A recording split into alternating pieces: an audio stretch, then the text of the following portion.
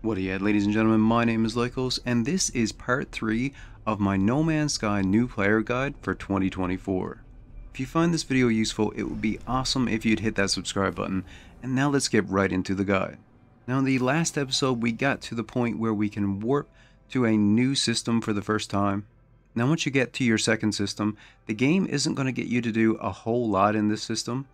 It's just going to get you to go visit an alien structure it's going to give you a little bit of lore and another warp cell so you can warp to another system.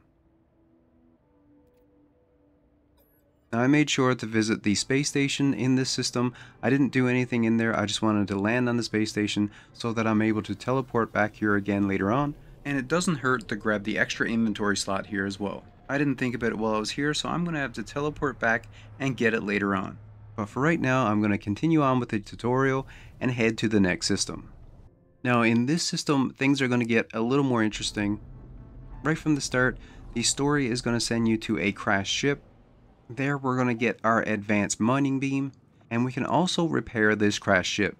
Now you can get this ship for yourself if you want, and repair all of the systems, but that takes a little bit too much time for my liking, so unless a crashed ship that I find is absolutely amazing and I definitely want to keep it, I'm not going to bother holding on to it. So what I'm going to do is I'm just going to repair the engines and the thrusters.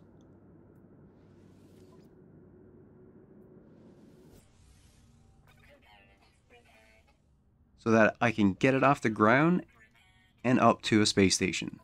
Then once at the space station I can scrap it for its parts and make a little bit of money selling these components to the galactic trade. And I'm also going to sell the upgrade that I got from it to a technology merchant for extra nanites. Now, the system that I warped to happens to be an outlaw system. There's a lot of pretty cool things that you can do with the outlaw systems. As you can see, the space stations are quite a bit different. You can even get some outlaw missions here, which are pretty cool. So now we're just going to head back out into space and continue on with the story. Out here, we're going to be alerted again, and then we're going to answer the communication. And this is going to lead us to one of the most important things in No Man's Sky and that is the anomaly.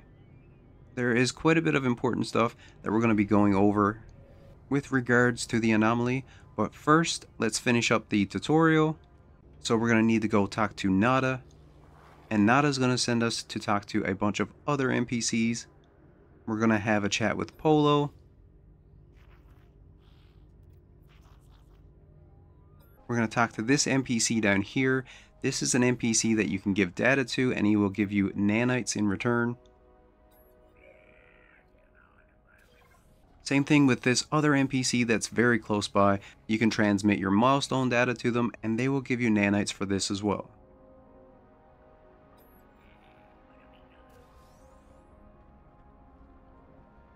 And continuing on here, the game is going to get you to go to one of the most important locations in the game. That's this area right here on the anomaly. And here you can get some very useful upgrades and unlock a ton of building blueprints. In my opinion, this is the best location to spend your first nanites. There's some really great and in some cases crucial upgrades that you can get in this spot. Now the first NPC that the game is going to get you to go to is this one here that you can buy exosuit upgrades off of. The personal refiner is really great. The movement upgrades are very good as well. Also, right next to this vendor, you can get another inventory slot. So in the last video, we got the inventory slot, which was on the space station, but you can also get one on the anomaly for every system that you visit. So if you want to maximize your inventory, make sure that you're visiting both for every system that you visit. Now, right next to this spot is the construction research station, where you can purchase an incredible amount of building blueprints. The medium refiner is useful early on, and this is also where you can get the Exocraft summoning stations. Right next to that we have the NPC that has ship upgrades. Now here early on I really like to get the economy scanner. You need to get the teleport receiver first, which is another good one. It allows you to transfer items to your ship from a greater distance, but I particularly like the economy scanner. This does a couple of things, but the thing that I like the best about this is that you can scan from space and see where trading outposts are in that system. There's also a bunch of other really good upgrades here for your ship. The cadmium, emerald, and indium drives allow you to travel to new systems. There's some good upgrades for your thrusters, and some really great ship weapons. I particularly like the Infra Knife, but the Positron Ejector is really good as well. Over on this side, we have the NPC where we can get multi-tool upgrades. You can also purchase a multi-tool here as well. I personally really like the Scatter Blaster and the Pulse Spitter weapons. The Pulse Spitter is probably my favorite, but the Scatter Blaster is a really powerful shotgun. But this is a very important area that you should be returning to pretty often, get your upgrades and building blueprints.